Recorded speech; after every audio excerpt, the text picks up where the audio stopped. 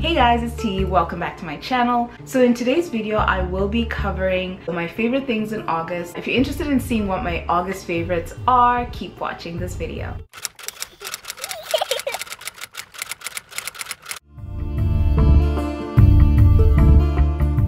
This protein powder is by Vega so Vega makes vegan protein powders.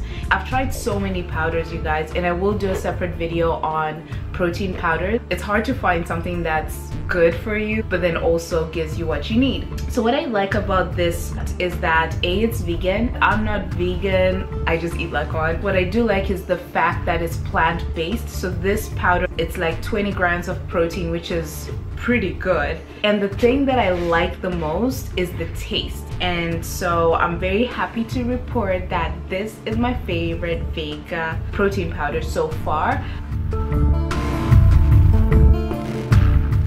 I really love these sunglasses. They're by Betsy Johnson and I really like them mostly because they have that little heart there.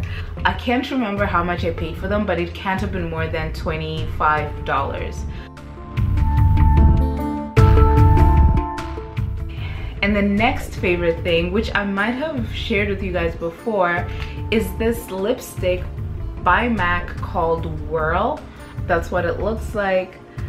It's very popular, uh, I believe, and it's a nude. I'm actually wearing that right now, even though you can't properly tell, that's why it's called a nude. It's my favorite sort of everyday lipstick. I've been wearing a lot of color as well, but when it comes to sort of neutral nudes and that sort of thing, I've been wearing this. And it requires very little um, tampering in terms of liners and that sort of thing. You can just pretty much wear it and go. It's like a pinkish color. But yeah. This has been my favorite summer product, like not just August, but the entire summer. Uh, so this is the pore tightening all-in-one serum from the Face Shop. The best serum I've tried from their shop and I've tried a couple of their products guys. For the price of it, it's actually pretty effective for a, a serum that costs, I think it probably costs like $15. I have to check but I love this product. I love the Face Shop in general. They're one of the few um, brands that are inexpensive and actually effective.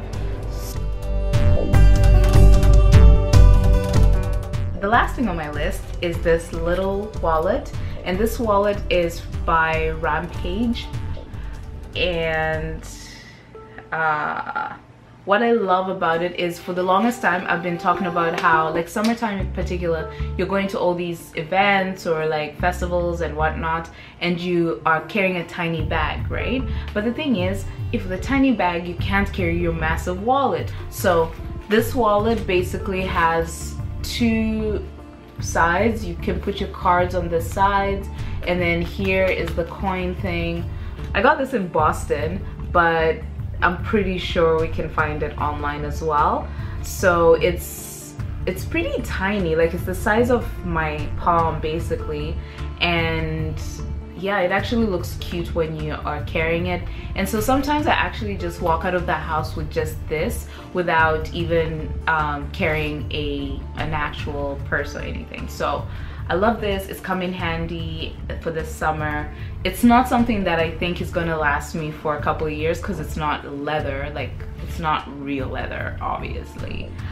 So that is pretty much it you guys. Don't forget to let me know what your favorites were this summer. And as always guys, thank you so much for watching and uh, please don't forget to subscribe to my channel and also rate this video. So if you liked it give it a thumbs up. If you didn't like it give it a thumbs down. And that way I know what's working and what's not working. Thanks for watching